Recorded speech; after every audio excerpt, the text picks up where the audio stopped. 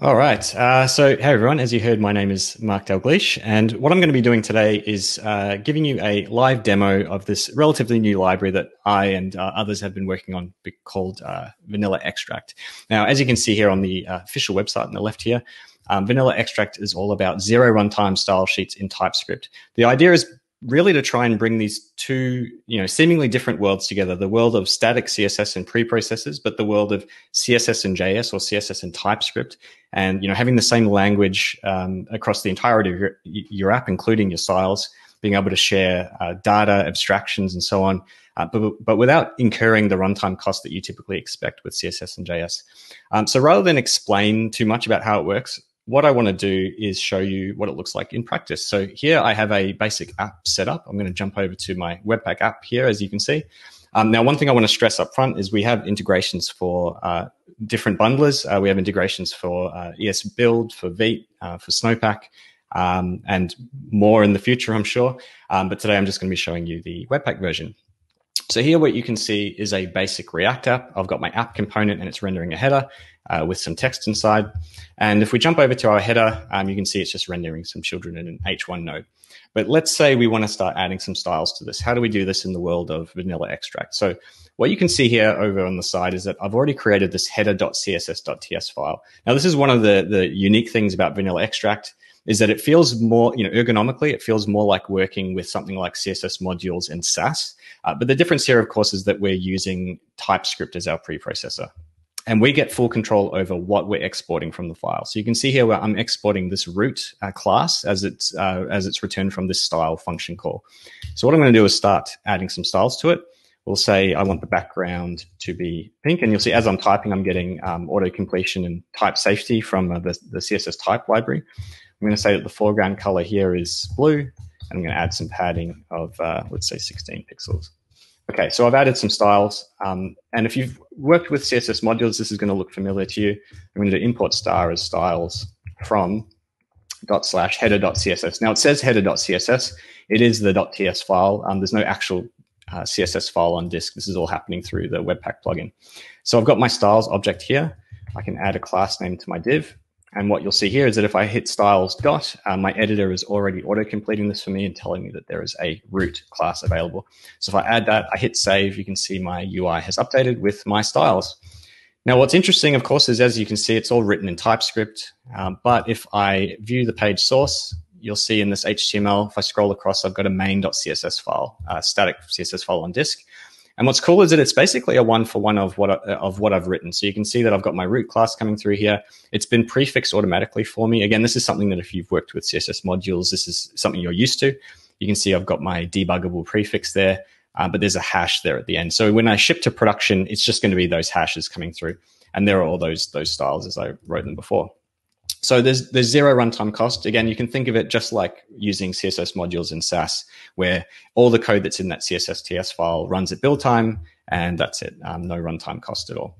Now, the next thing I guess that's really interesting about Vanilla Extract that's worth calling out is we're big on type safety and we're big on local scoping. And it's not just about class names. It's importantly, when it comes to things like design systems, you want to have that same level of DX around your themes. Um, so let's say that these hard coded values here are actually going to come from our theme palette, uh, maybe a collection of CSS variables. What I can do is I can create a new file here that I'll call theme.css.ts, and I'm going to create some CSS variables. So export const vars equals, and I'm going to create a global theme, as we call it. Now, it's global in the sense that I'm attaching it to a selector. This is a common pattern if your app uh, basically has a single theme. Um, if you've got multiple themes, you can uh, there are versions of this that return a class name for that theme, that, so you can swap it in and out, but I'm going to keep it simple today. What's cool about this is that I can create a nested tree of variables. So here I'm going to have my colors, and let's say, uh, you know, just to keep it simple, I'm going to say I've got blue, uh, uh, pink, aqua, I can type aqua, try that again, and uh, navy. There we go, I've got a few colors. And then we're going to add a space scale as well. So we'll add space of small as uh, 8 pixels. Let's just let's say medium, large, we'll go up from to 16 and 32. Not a very realistic scale, but there we go. We've got our colors and our space. So if we jump back over to our header.css.ts file, I can start to replace these with CSS variables. But what's cool is that um, you know, as I've said, it's all type safe um, and it's got that nested structure. So I can say vars.colors. And you see I'm getting auto completion here of all of my CSS variables. Um, so here we've got our you know pink background list to mix it up. Let's use the aqua version, hit save. You'll see the background has changed. I'll change the foreground here. Um, same deal. We're going to say vars.colors.blue. Uh, and then the padding here, vars.space.medium. And of course, being type safe, you know, if I've got a typo anywhere like that, if I've you know, left a couple of letters off, I'm going to get my editor telling me that that's not a valid CSS variable. Um, in the same way that you expect from CS, something like CSS modules, where you've got your hash class names, we also have hashed variables. So if I jump into the uh, the style sheet again, we have another look. You can see there's our root selector for setting up all of our CSS variables. They've got debug names at the start there, as we've come to expect. These are only in development. Then you've got the hashes at the end. So in production, you, your styles are going to be referencing these hashed variables. Everything's going to be nice and lean. Um, another thing that's worth noting as well is that because this is all happening at build time, we're able to tie our localized uh, classes and variable names to the file that it came from. So you have a single hash per file and there's just a, a, single counter at the end. Here you can see zero, one, two, three. So that means that the compression is is really really good, especially the more styles you put in in the singular file, which is very common in a design system having a, a central theme file like this. Um, cool. Um, now the next thing that's that's worth calling out here is that you know this is all still very basic uh, flat styling what you would expect from css modules but when you work in a component system often what you want to be able to do is have namespaces of styles that map to props is a very common pattern. So for example, let's say that this, this header component, I want to be able to have a prop that can change the background color and can change the foreground color for me. So what I'm going to do is I'm going to introduce this new concept here of style, what we call style variants. So I'm going to create a background style uh, collection of style variants. Now, style variants uh, lets you pass an object here where you can create named sets of styles. Um, the other thing that's useful here uh, in terms of what we're doing is you can actually map over an object. So what I'm going to do is pass in the, our entire color palette and I'm going to map over that. So in this case, it's mapping to the background. And what I can say is for every single CSS variable that I just passed in, um, map it to um, a style that sets the background. And I can do the same for the foreground. So if I change this one to color, um, we now have collections of styles for background and color. I'm going to delete these two here. Um, so our colors are going to disappear but that means we're now ready to reintroduce them at the component layer. So here we've got our interface for the component for the props. What I'm going to do is I'm going to add a new prop here called background. And what's cool is that because our style sheet is written in TypeScript, we also get access to the types that are coming from it. So I can say here that the background is actually key of type of styles.background. I can use this, the style variants object that I've exported as the source of truth for the types here of the props. So I can do the same thing for the color as well. And I can, of course, name these whatever I want, but I'm going to keep it fairly straightforward. And that means that these props now are going to be coming through here. So I've got our background prop and our color prop. I'm going to map these through to this class name. Um, so, of course, what I'm going to do before I go much further is make sure that I'm joining them with a space. So now we can make these dynamic. I can say that I want to apply the background and it's going to use the background prop uh, looking up on that style variants object. And I'm going to do the same thing for the foreground color that. Okay, so what's cool is that you'll see nothing's changed visually here in terms of the colors, but we are getting a type error now from our app component because the header component is no is not providing these required props. So if I start typing in here background, you'll see I'm getting auto completion of the available backgrounds, and again tracing that through. That's because um, you know the type of the background is from the key of the type of our background styles inside of our header CSS file. So it means whatever I define here ends up being the, the prop interface of this component. So I'm going to set the background here to be uh, pink again, like we had before, and still getting a type error because I need to set the foreground color, and we'll go with blue. And there we go. So what you can see is, again, what, what we're getting is, um, you know, type safe styles with zero runtime. I'm just generating plain CSS files. Um, if I view page source here, um, again, all, all the way through, it's just a plain CSS file coming out the other end um, with no runtime cost. Now, if you're like me and you're working on a design system, you know, this sort of um, you know, low level atomic mapping code effectively. You know, I have a single class for each background color. I have a single class for each foreground color. This concept is not really uh, coupled to the idea of this header component. This is a generic app wide concept that I want to be able to reuse classes. And if you've ever worked with something like Tailwind, then you're definitely used to this idea of being able to reuse these classes throughout your app and being very utility first. Um, so this is something that we use uh, in our own work with Vanilla Extract uh, at Seek, where I work in Australia. And to make this easier, what we have is actually a first class official package. It's part of the vanilla extract monorepo uh, called Sprinkles. Now you can think of Sprinkles as basically like the tailwind of vanilla extract. But the difference here is that um, we're leaning heavily into TypeScript and having type safety and fu- uh, type safe functional interfaces for our for our classes rather than you know manually building up these these strings that you typically get with with utility class frameworks. So in order to make this work, what we're going to do is jump down here and we've got a bit of a starting kit here that I can grab. I'm going to highlight all this code um, and I'm going to drop it in my theme file. Paste that import to the top. So we've still got our vars. We're going to use our vars as the source of truth. Um, I'm going to delete the space here that's come with our little template, and um, we've got colors here as well. I'm going to delete those. So already you can see we're getting, you know, as always, we're getting type errors. Uh, that's going to make things a bit easier for us uh, to fix it up. So rather than it just being space, I want it to be vars.space.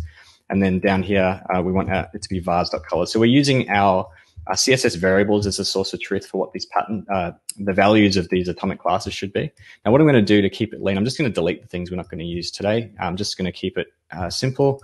Um, but we have what's neat is we've got shorthand here as well. So we've got padding, padding X, and padding Y that just map to these low level top, bottom, left, right. We also have color styles here as well.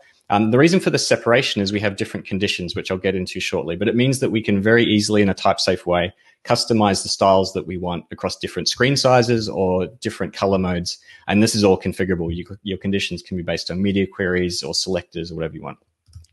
Okay, and then at the bottom here, what you'll see is we're exporting this atoms function. And that's what gives us the type safe uh, interface to these atomic classes that we've configured. Now, this function can be used inside of your CSSTS file. So I could replace these with atoms uh, calls if I wanted to. But what I'm actually going to do is show that um, you know, the real power of this approach is that this atoms function can be used at runtime. Uh, what, what, I'm going to do to keep things simple, I'm going to roll back to a component that doesn't accept any props. So we'll just delete these uh, background and foreground colors. Jump in here. These are these are now gone. What I'm going to do instead of having this um, CSS file is I'm just going to use my low-level atoms function directly. So here we're going to say atoms, um, and that's coming in from my theme file. I've got this atoms function. I'm going to say that I want the padding to be uh, large, medium, small. You can see here. So these, are, again, it's all type safe. It's coming from our sprinkles configuration that we just looked at before. I'm to make that medium. Um, what I'm going to do here now is set the background to be uh, pink, as we saw before. And I'm going to set the foreground color to be blue. Again, same styles as we've had before. So we're, we're basically back where we started. But what's interesting is if I open up the dev tools and I inspect this element, what you'll see uh, is that we've got atomic classes for everything. We got background, foreground, padding, right, left, bottom, top. Um, if I view the again view the the resulting CSS file that's being generated, you'll see we've got um, all of our variables up top. We've got all these atomic uh, reusable classes um, defined for different breakpoints. We've got ta- our tablet styles, our desktop styles here, and then at the bottom here we've got our our um, dark mode colors as well uh, for uh, color and for background classes. So you know, because this is all statically built into a CSS file with a, a, function that just maps to those at runtime, it means there's actually zero, effectively zero runtime cost apart from the, the lookup of, of mapping to these pre-existing classes. But what's neat about what we've done here is that we can start to do much more advanced things than, than just mapping these simple values. Because we set up our conditions, uh, we have conditions for padding and colors that behave slightly differently. What we're going to do here is say that for padding, we want on mobile to be small then on tablet, we want it to be medium. And then on desktop, we want it to be large. And one thing I want to stress is that this naming convention is just something I've come up with. You can name these whatever you want. Um, you can map it to whatever media query you want and so on. Um, so that means now that I've made that padding um, responsive, you can see as I resize my window, the padding is changing.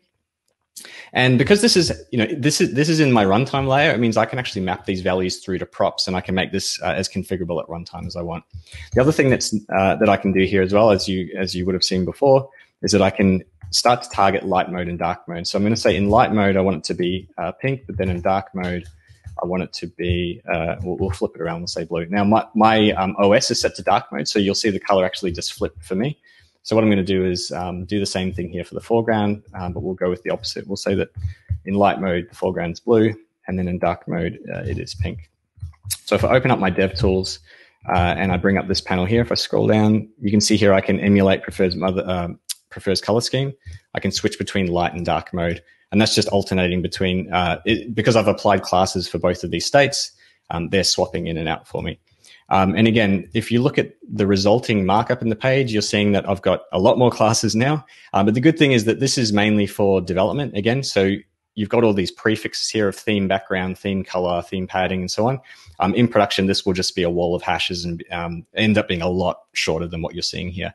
And again, if we uh, if we view source, uh, even though it's all dynamic for, between light mode and dark mode, um, what we've done is we've sort of um, invested in this lean set of classes up front, and then at runtime, beyond that, there's there's no there's no real cost for that.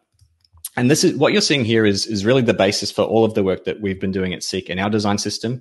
And in practice, what we found is that we can build this really lean, reusable, highly compressible set of classes and then move uh, a lot of the, the logic for swapping in the uh, swapping in and out of these classes to the runtime where the ergonomics start to feel a lot like your traditional runtime CSS and JS solutions, but without the performance costs because we're just referencing these pre-built atomic classes. So I, hopefully you find that interesting in the sense that you can see that there's room for some of these approaches that try to bridge the worlds between static CSS um, and pre-processes and knowing that there's zero runtime cost in, in all of that work, but then having the, the, the ergonomics of a runtime CSS and JS solutions and being able to integrate your styles into your component APIs and so on. Um, so that's it. If you if you're interested in uh, trying it for yourself, I do encourage you to check it out. Vanilla-extract.style and uh, try it out and let me know what you think. I'd love to hear how it goes. And um, that's it for me. Thank you so much for listening. Thank you so much. That was a lovely talk. And I mean, I'm going to use myself now vanilla extract for my side projects. So it, it was really amazing. Uh, we have a quick question from Oli.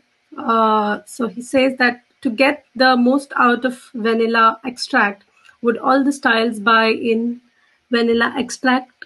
Would there ever be a good use case to have something inline out of vanilla extract? Yeah, so I think the way I think about this is it's again it's it's really no different to the way you think about working with something like CSS modules in Sass in terms of the trade-offs because if you want to do something at runtime and you're using static CSS, you may have to reach for an inline style in that sort of scenario. But I guess where what's interesting now that we have CSS variables is that you can make your CSS variables dynamic at runtime as well. So Vanilla Extract, I didn't touch on it today, but Vanilla Extract has a special package, um, you know, slash dynamic is the, the name of the package in, in the um, in the namespace. And what that lets you do is have a sort of a first class type safe API for changing the value of variables uh, at runtime. And so that lets you, that's another way that you can sort of have the best of both worlds where you can write the static styles, put dynamic placeholders in there in the form of CSS variables, and then swap those out at runtime as well. So that gives you a little bit more control um, to do things like uh, that you you typically can't do with inline styles. So, for example, you could have variables for different breakpoints and have them applied as inline styles. That inline styles typically can't do you know responsive styling. So, we have a lot more tools available to us to do that now um, than we used to.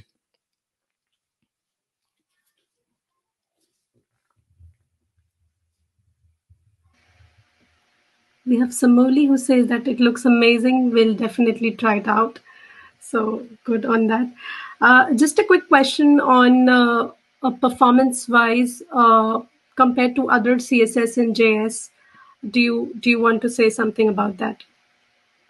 Yeah, I mean, so that's really you know wh- where this work is coming from is from the perspective of you know obviously with my involvement in CSS modules, we invested in that ecosystem really really early, and the entirety of our design system, uh, you know, lineage going back many, many years at this point was all built on this assumption that there's zero runtime cost. And we, we scaled that up through a large company, right? And so the challenge for us was that um, we wanted to move more and more towards the, the, benefits of CSS and JS or CSS and TypeScript particularly.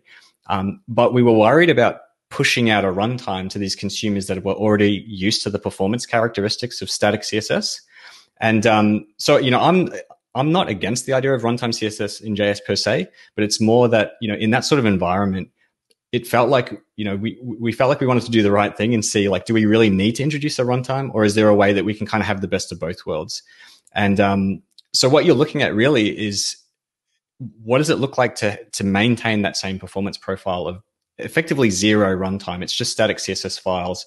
And the only, the only runtime really is just the typical lookup that you would have to do anyway with any static CSS solution. Um, and, and, beyond that, there is, there is zero runtime cost at all. So it's going quite extreme in terms of the trade-offs um, and trying to see how far we can push it. The, some of the trade-offs there, of course, as you've seen, is we've got a separate file that you have, that you have to worry about, and that that export export um, static export boundary. But we actually find that in practice, that actually helps people understand, you know, where is that boundary between the code that runs at build time, the code that runs at runtime, and it's clear that there's no anything that's in that CSSTS file can be as expensive as you want. It's not going to hit your users. Um, so I'll just ask a question here too. So are you actually running all the .css.ts files during build time to compile them? Yeah, so that's one of the reasons we went for that sort of approach is it makes it really easy to signal to the bundler that this is this is a point at which we actually need to spin up a child compiler, um, compile that in, into its own separate context that we eval, um, and all CSS that gets generated go um, gets output into these virtual CSS files, and all the exports. Uh, that's just those are the things that are left in the file. So the fact that there's that boundary, um, that such a clear boundary as well, has made it really easy for us to port to other bundlers. So like getting into ESBuild, for example, was really trivial um, because we didn't have to do any AST work at all. It's literally just if we see that extension, we know spin that one up, and it's uh, in a separate process. Cool. So maybe this question is for all of you. Uh, where do you see uh, CSS and TS heading in next few years? It seems like there has been a recent boom in zero runtime CSS.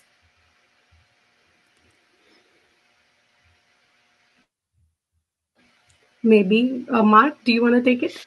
Yeah, I mean, uh, this is a tricky one because I think um, you know, so with CSS modules, I think it was really obvious from the beginning that it had the potential to be really big because it looked and felt like regular CSS files and it integrated seamlessly with existing CSS tooling. You know, like you could plug Sass into it and auto prefixer and post CSS, whatever. Like it just felt like it was part of the CSS ecosystem. You could hand it to uh, an ostensibly, you know, CSS focused developer and they'd feel right at home. Whereas what we're looking at here with CSS and TS, it feels like it's got a bit more of a hurdle to get over to get more of that main mainstream adoption outside of maybe, you know, people at, at a conference like this are perfectly happy with the idea of CSS and TS. Um, I think, you know, your more traditional CSS developer is going to have a harder time coming to terms with the idea that they're completely flipping out uh, the language to something like TypeScript. Um, I'd like to think that with the right uh, approach of presenting it to them and maybe writing specific articles or creating specific videos for that audience, knowing that they might be more skeptical. I think that the benefits of type safety are what pushes it above and beyond JavaScript as as a as a sales pitch because I think if you looked at what we were doing before, it was for them it's much easier uh, to write it off and say, well, you're you're just using JavaScript. Like I don't see that as as such an advantage um, you know, to that audience. But if you say, look at the, you know, look at what I'm doing with CSS variables here, where I'm actually getting like auto completion, type safety. I know for a fact that all these variables I'm referencing do exist. And if someone deletes this variable, my app will get a type error. Like that starts to, you're starting to see things that even a, a die in the wool, like traditional CSS developer is going to have a hard time saying that's a bad idea. I think they're going to start to say, okay, there's something interesting here. It might take a bit longer. So, you know, you're talking about the next few years. I, I, think that that's probably maybe the sort of time frame you're looking at. I mean, even CSS modules took a while to become the sort of safe, boring choice. I think, you know, there's room for some of these CSS and TypeScript solutions to get to the same place, but I, it might be more of an uphill battle, I think. Okay, there's one more question for you, Mark. I think you mentioned the theming part a bit, but is it possible to create nested themes easily, toggle between them? Yeah, so in order to keep the demo simple today, I used create global theme, but we also have just a create theme API. And what that returns to you is a tuple of the of the theme class itself and the vars. So then it's up to you to then put that class somewhere in your document. Um, that obviously means there's a little bit more wiring up to do on your part. Um, which is why I didn't do it today. Um, but in our system, that's what we do. We have a, a, system with multiple themes that you can swap in and out. Um, the other thing that's really cool as well, that's, this is more advanced usage of vanilla extract, but um, we also give you the ability to create theme contracts in isolation. Um, why that's useful is it means you can bundle split your themes and you can say that um, you can like every um, like your app code imports the theme contract and has access to the var names, but it's up to you at runtime to decide, well, which implementation of that theme contract am I going to use? So from vanilla extracts perspective, we support every uh, theming use case from you know the one global app uh, theme for your app all the way through to like lots of separate themes that are bundle split and optimized that way. So it's we, we handle whatever whatever you need to do there. Thank you. We have another question. Will Vanilla Extract support CSS co-location, aka placing styles in the same component? Yeah, this is like the number one question we get with this library because it's definitely one of the biggest trade-offs we've made. Um, we, I would say we've internally we've debated this one quite a bit earlier on, and I've you know I've I've often been the one trying to challenge ourselves to be like, you know, is this something we really need? People don't like it. Um, I think ultimately what it comes back to though is at some point there has to be a boundary between the code that's going to run at build time, the code that's going to run at runtime. The challenge with putting it in the same file is it's very easy for you to write code that just does not make sense because you're trying to do things that you know, you're trying to reference things that actually don't exist at runtime. Um, and so then you have to introduce things like lint rules and, you know, to guard against people doing things that don't make sense and so on. Um, whereas if you, if you put it in the separate file, effectively, you know, in my mind, the, re- the reason why it, it, it feels right in practice is it's going with the grain of JavaScript in the sense that the, the export boundary of a module is static. Like you're, you're actually forced to think about it in that sense. Like I can do all this work in my CSSTS file, but I have to sort of at, you know, upfront decide these are the things I'm exporting from my file. And so it, it, it means that there's no longer this sort of confusion of like my React codes trying to reference variables that I defined in my styling code that actually should be gone at runtime. Um, and it just makes it makes it much easier to reason about. Um, it also helps with the, you know, this is not the reason we do it, but it also pays off in other ways in that um, it means there's a lot less work for us to do to figure out where that boundary is. And integration with different bundlers and different environments is, is a lot more straightforward for us as well. But I, I, I would say the main reason is about making it feel natural in the language that the, the that boundary is is is inherently static. Thank you for that. Uh, what are some of the interesting projects that you're following outside of your own Maybe to well, all of you. This question is like to all of you. Well, I'm interested to see Stylex. Very interested. And Naman, maybe you can yeah, go. I, have actually been looking at vanilla extract, and uh, I learned way more today because I wasn't completely familiar with sprinkles. And uh, just a little extra add-on to the last question. I think at uh, with Stylex, we've kind of made the other uh, the other choice where we do co-locate styles in the same file. And but other than that, I feel like we're trying to follow many of the same things. It's typed, it's uh, static, and all of that. So I think it's very interesting because other than that one decision, we're both chasing exactly the same goals. Andre, do you want to add something? Yes, I, I tend to remain unbiased towards any CSS in JS library because I like to try all of them and uh, understand each of them and and the, understand where they basically fit in, in a particular project. Um, I've used uh, I've used Treat, uh, which is the father, grandfather, I don't know how to call it, uh, the grandfather of a vanilla vanilla extract.